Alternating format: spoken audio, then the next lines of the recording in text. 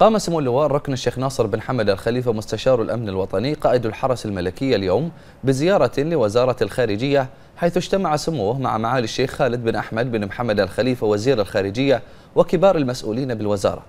ويأتي هذا اللقاء ضمن الزيارات التي يقوم بها سمو مستشار الأمن الوطني قائد الحرس الملكي لعدد من الوزارات والمؤسسات والهيئات الحكومية والالتقاء بالمسؤولين بتلك الجهات. لدعم مسيرة التطور والتنمية التي تشهدها المملكة بقيادة حضرة صاحب الجلالة الملك حمد بن عيسى الخليفة عاهل البلاد المفدى القائد الأعلى حفظه الله ورعاه.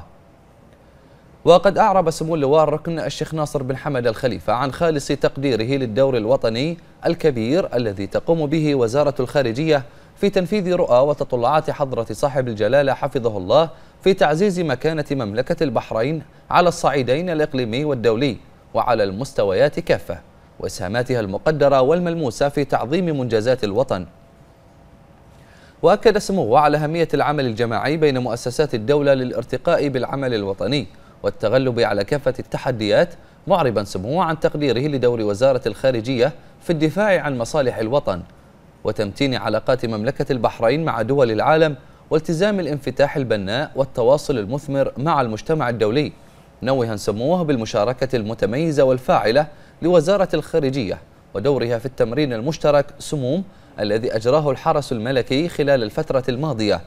التي تؤكد ما تزخر به وزارة الخارجية من كفاءات متميزة تعكس دورها وحرصها على إنجاح كافة البرامج والجهود الوطنية. من جانبه عبر معالي الشيخ خالد بن أحمد بن محمد الخليفة عن خالص شكره وجميع منتسبي وزارة الخارجية لسمو اللواء الركن الشيخ ناصر بن حمد الخليفة على زيارته والتقائه بكبار مسؤولي الوزارة والتي تجسد نهج سموه الراسخ في التواصل مع كافة وزارات وأجهزة الدولة وتعزيز التعاون فيما بينها إيمانا من سموه بقيمة الشراكة بين جميع المؤسسات في رفض مسيرة النهضة والتنمية التي تشهدها مملكة البحرين في ظل قيادة حضرة صاحب الجلالة الملك المفدى حفظه الله ورعاه. وأعرب معالي الشيخ خالد بن أحمد بن محمد الخليفة عن عميق اعتزازه بما تحظى به وزارة الخارجية من اهتمام من اهتمام خاص في إطار سياسة سمو اللواء الركن الشيخ ناصر بن حمد الخليفة الهادفة للارتقاء بدور الشباب على مختلف الأصعدة لا سيما السياسية والدبلوماسية والاستمرار في خلق وتأهيل كوادر دبلوماسية شابة قادرة على تمثيل مملكة البحرين في الخارج بكل كفاءة واقتدار.